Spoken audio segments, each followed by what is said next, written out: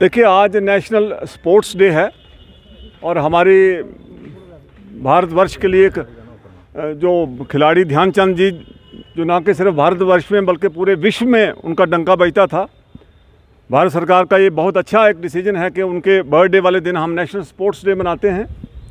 वो एक ऐसे खिलाड़ी थे कि पूरी दुनिया में उनका डंका था और एक बार मैं आपके माध्यम से बताना चाहूँ कि जर्मन ने, जर्मनी ने उनको कहा कि आप हमारी टीम ज्वाइन करिए और प्लेन कागज़ पे जितना अमाउंट आप लिखेंगे, हम आपको उतना दे देंगे but he was not only a good sportsman a legend sportsman he was a good nationalist also he refuse the offer of the German और आज के दिन हमारा बड़ा हर्षोल्लास से हम ये स्कूलों में मनाते हैं, लेकिन बिकॉज़ ऑफ़ द कोविड ये कोरोना की वजह से उतने हर्षोल्लास से हम नहीं मना पा रहे हैं। काफ़ी अच्छा हमारा ये फ़ंक्शन होता था।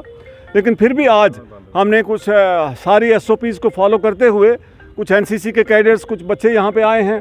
छोटा सा हमने सिंपोजियम रखा था।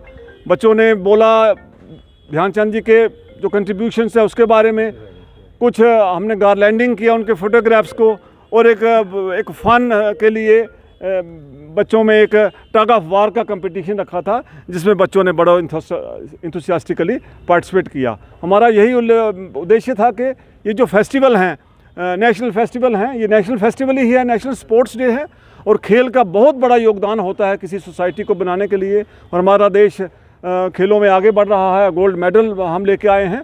तो हमने कहा कि इसको मिस नहीं करना है, इसको वंचित नहीं हमारा इंस्टीट्यूशन रह जाए। तो सारी एस को फॉलो करते हुए हमने छोटा सा ये ध्यानचंद जी की याद में यहाँ आज फ़ंक्शन ऑर्गेनाइज़ किया है। Thank you